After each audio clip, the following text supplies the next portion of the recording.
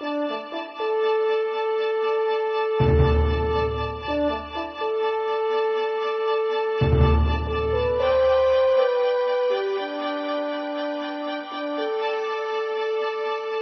today, uh, as part of the AT Awareness Month, you know, which uh, we observe every August, uh, we are conducting a,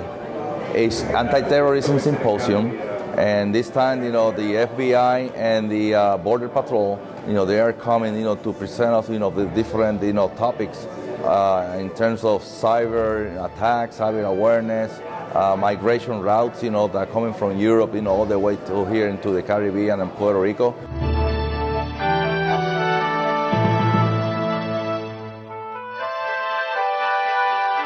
They always bring great resources and they bring directors from different agencies that give us very good information